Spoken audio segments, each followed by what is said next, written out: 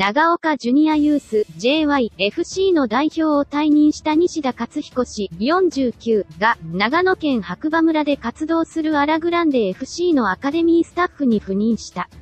全国選手権制覇を成し遂げた東京、帝京高の戦友である帝京長岡校サッカー部谷口哲郎総監督49の誘いを受け、1年に長岡 G ファックを設立。小中学生を指導するほか、帝京長岡高校地も務めてきた。新たな土地でも指導スタイルは変わらず、サッカーの楽しさを子供たちに伝えていく、長岡にフットボールの文化を作り出した西田氏が新たな舞台に挑む。長岡 G ファックが設立当初から実施してきた指導者派遣事業の一環として、以前から交流のあった白馬村にあるアラグランデ FC のアカデミーで指導に当たっている指導者としてさらにレベルアップしたい。白馬村での生活もサッカーも新しいことの連続で楽しんでチャレンジしています。名門、帝京高3年時にスイーパーとして全国選手権優勝を経験した西田氏は、1年4月設立の長岡 G ファックで22年間、代表を務めた。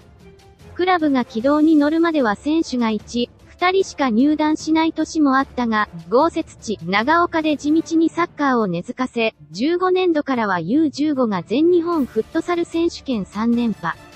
コーチを務めた帝京長岡高が全国選手権で19年度から2年連続4強進出など全国でも強豪と言われるチームへと育て上げた。新潟はかつてはサッカー不毛の地と呼ばれていたが、地域は関係ないと思ってここ、新潟に来た。いい22年を過ごさせてもらった、と振り返る、選手のアイデアを認め、個性を伸ばす。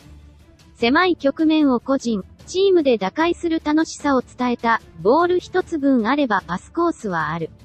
新天地でも指導スタイルは変わらない、とにかくサッカーが好きになってほしい、という。今後は白馬村で選手、指導者の育成をしながら長岡 G ファックと提供長岡高をできる限りサポートする。これで長岡と縁が切れるわけではない。OB 指導者も育っている。違う地域で互いを高め合っていきたい、と決意していた、小林忠、西田勝彦、西田勝彦、1973年、明48、6月12日生まれ、埼玉市出身。FC 浦和の FW で全日本少年サッカー大会優勝。成長痛で1試合5分間の出場制限がありながら14得点をマーク。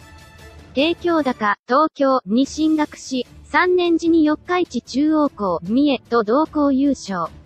東海大、ホンダルミノッソ狭山でプレー。U から16日本代表、全日本高校選抜。1年に長岡市に移住し、長岡 G ファック代表を22年間務めた。